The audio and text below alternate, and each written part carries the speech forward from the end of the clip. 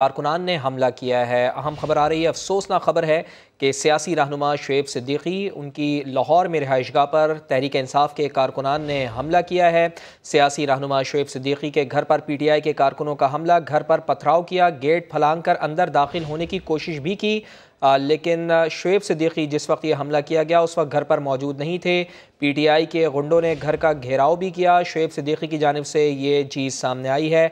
ऐसे ओछे हथकंडों से डरने वाले नहीं हैं। शुएब सिद्दीकी का ये मौक़ सामने आया। हमला करने वालों के खिलाफ कानूनी कार्रवाई की जाएगी। शुएब सिद्दीकी की जानब से ये कहा गया, ब्यूरो चीफ नईम हनीफ साहब हमारे साथ मौजूद हैं।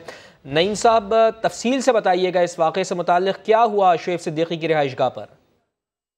देखिए, ये मुल्क में बढ़ती पोलराइजेशन का नतीजा है, जो चेयरमैन पीटी इमरान खान अपने हर जलसे में जिस तरह जो है उजागर करते हैं शिदत पसंदी को ये उसी का ही गालबा नतीजा है लाहौर में कराची मोहल्ला सदर बाज़ार में शोएब सदीकी जो सियासी रहनमा हैं, इससे कबल वो पाकिस्तान तहरीक इंसाफ की तरफ़ से मेंबर सूबाई असम्बली भी रहे वो आज उनके घर पे जो है वो हमला हुआ है और उनसे जो हमारी बात हुई है, उनका कहना है कि ये पीटीआई के कारकुन थे जिन्होंने उनके घर पे हमला किया और घर का घेराव कर लिया और घर के अंदर दाखिल होने की कोशिश की और वो ललकारते रहे कि शुएब सिद्दीकी को बाहर निकालो।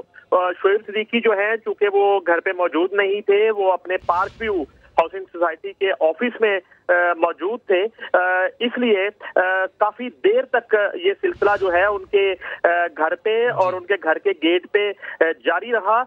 अब आखिरी दफ़ा जब हमारी शोएब सिद्दीकी से बात हुई है उन्होंने कहा जी कि पीटीआई के कोई रहनुमा है सदर बाज़ार के इलाका में नाजम नोमान और इश्तियाक ये तीन नाम हैं जिनकी अब तक पहचान हो चुकी है।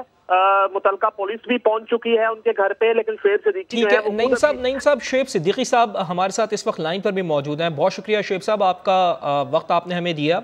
बहुत ही अफसोसनाक वाक़ है आपके घर पर हमला किया गया है। शेब साहब क्या वाक़ है? आपसे भी सुनना चाहेंगे और कौन लोग इसमें मुलविस हैं सर?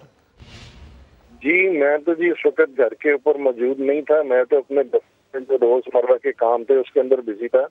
मुझे तो मेरे घर से जो कि मेरे मुलाजिम ने कॉल किया वो घर के अंदर था कि ये जो चंद नाम जिसमें नुमान है, इश्तियाक है और चंद है के नाम है, और ये कोई पंद्रह बीस के करीब लोग जो कि आए हैं, दरवाजों के ऊपर इन्होंने ईंटें मारी हैं, शराब पी थी, पीटीआई के नारे मारते रहे हैं, जलीस माँ बहन की गालियाँ निकाली हैं, घर के अंदर ज़बरदस्ती दाखिल होने की कोशिश की है। अजीब होचे अतखंडे जो कि इन्होंने इस्तेमाल किए तो मैं ये समझता हूँ